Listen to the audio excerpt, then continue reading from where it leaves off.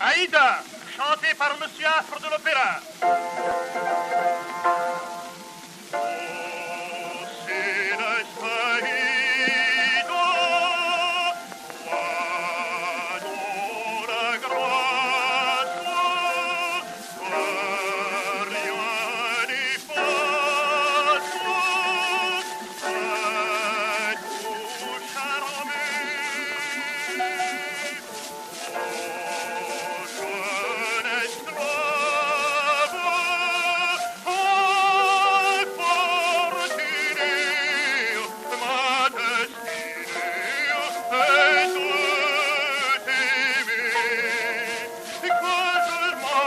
Oh.